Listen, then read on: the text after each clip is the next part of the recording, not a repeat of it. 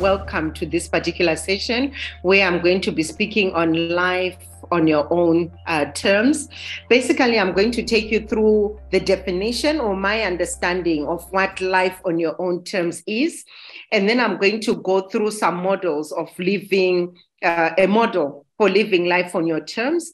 I'm going to go through a case study so that you know you can see that it's actually something that's real, it's something that's doable, and then put together a summary or conclusion, and then we will get to ask some questions and get into some question and answer I would like to start by giving you a definition of my understanding of what life on your own terms is, because different people have got different definitions. But basically, in a nutshell, it is about being more, doing more, and living more. Most of us are actually feeling stuck about where we are. Our lives are not as meaningful. There's so much else that we want to do but we actually are not doing it. So, life on your own terms is actually the ability to live a life that's meaningful and fulfilling to you.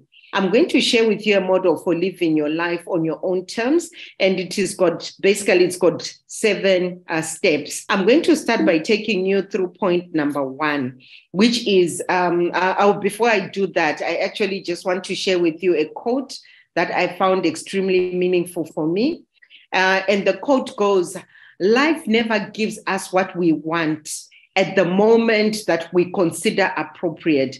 Adventures do occur, but not punctually. So, what it is basically telling us is life on your own terms, you can actually make it happen. You don't have to wait for life to make it happen. Okay, so what is it? What exactly does it mean to live, to, to do, um, to live your, your best life? What is it that it what does it mean to live life to your fullest to live life on your own terms so you have a dream of how you want your life to live.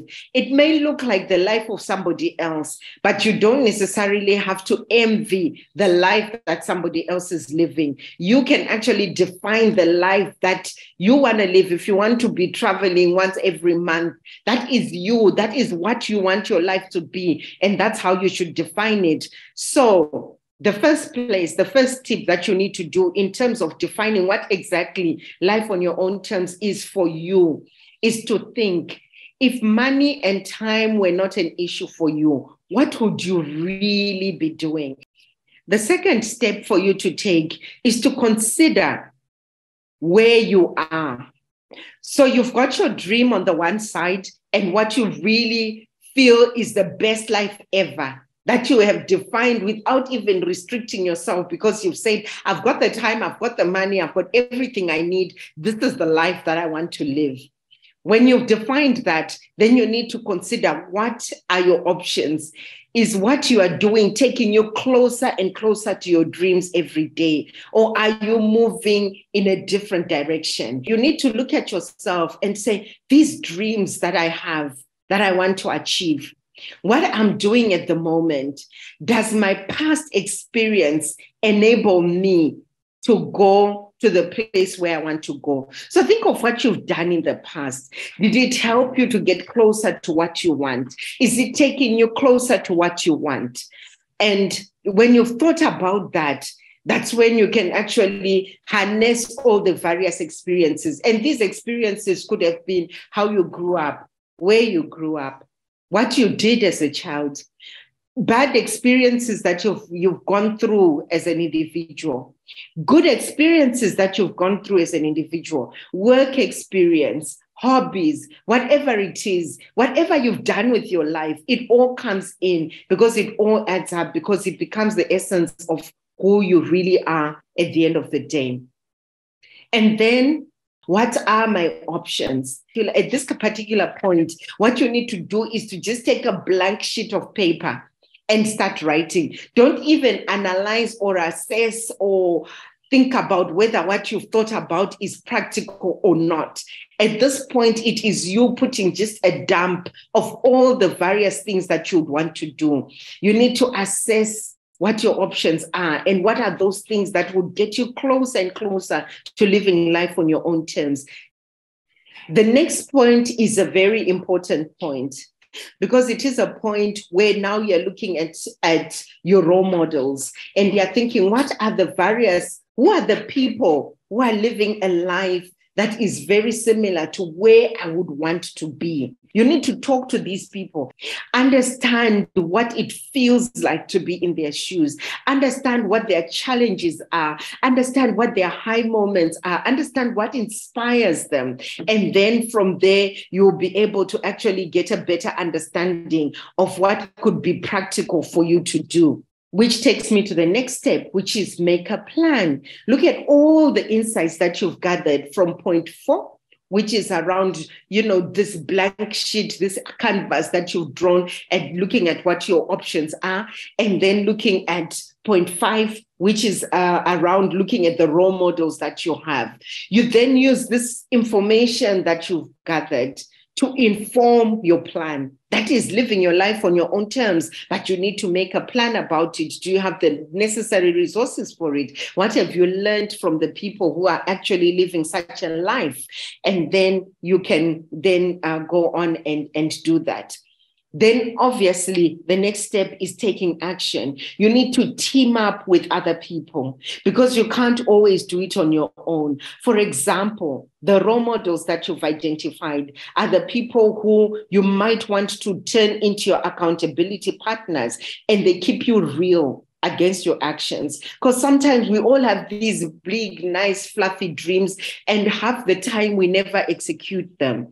But if you really are serious and intentional about living the life that you want to live, then you'll be able to actually take uh, write down the necessary plan and pursue that plan vigorously and sometimes because it is coming born out of what you really want your life to be about it comes easy. It is not something that is difficult because it is what you really want. It, it resonates with who you are, it resonates with what you really want to do. So, um, as a summary, I would like to say you don't need to remain stuck where you are you actually can take charge and define the life that you want to live and start going closer and closer to that life that you want to live.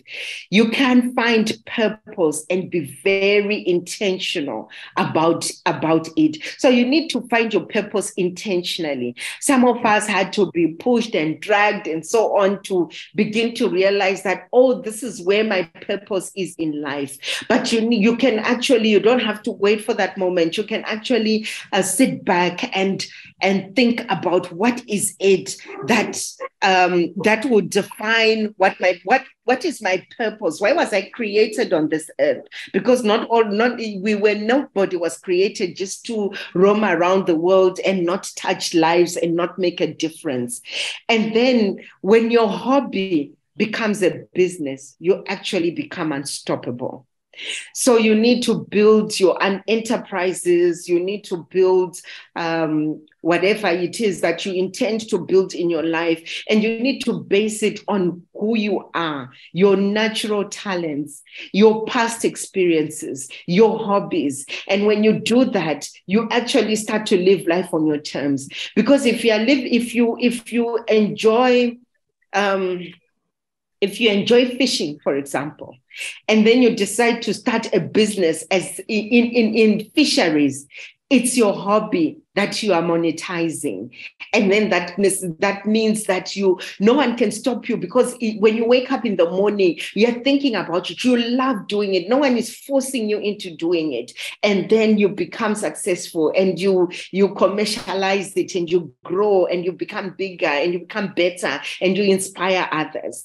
And remember to stay true to yourself because you can never live the goal or the life of somebody else. We all have our different paths in life. And if we all stick to our lanes and do what we need to do purposefully, intentionally, you'll find that we are all successful. We are all created to prosper. Our businesses are created to prosper, and we all can get to, um, to, to those levels of life that we really need to get.